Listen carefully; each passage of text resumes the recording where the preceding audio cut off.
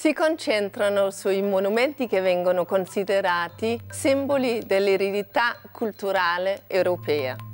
Li scelgono con cura e precisione. Poi accendono il fuoco, ma solo virtualmente.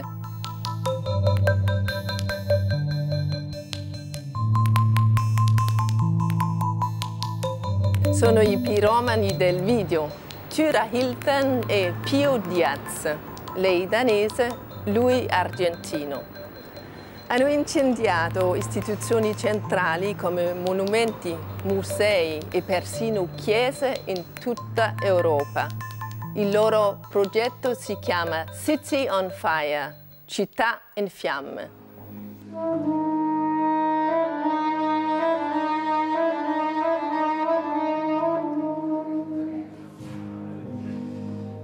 Per tre settimane hanno incendiato a Berlino la Haus Hardenberg, nella parte occidentale della città. Con un'attrezzatura tecnologica molto sofisticata, le loro installazioni creano sconcerto, rabbia e gioia nel pubblico. L'illusione creata dalla coppia di artisti è così convincente che quasi sentiamo noi la responsabilità di soccorrere urgentemente per spegnere il fuoco. Si autodefiniscono terroristi del video, ma a differenza dei terroristi, il loro scopo è di creare un dialogo con la società.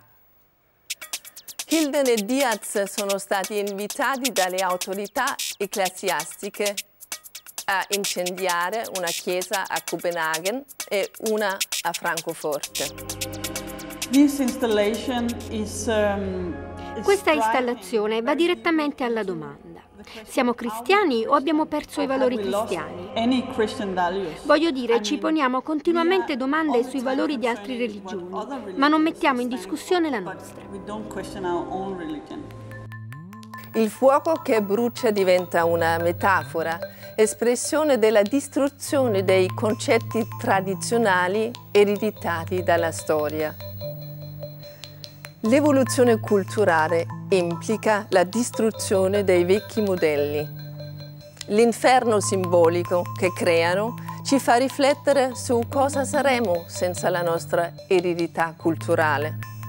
Hilden e Diaz non giocano solo col fuoco, ma giocano con i nostri pensieri.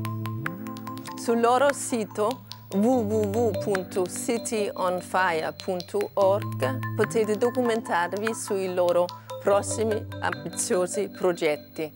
Arte e performance torna a fine gennaio. Buone feste!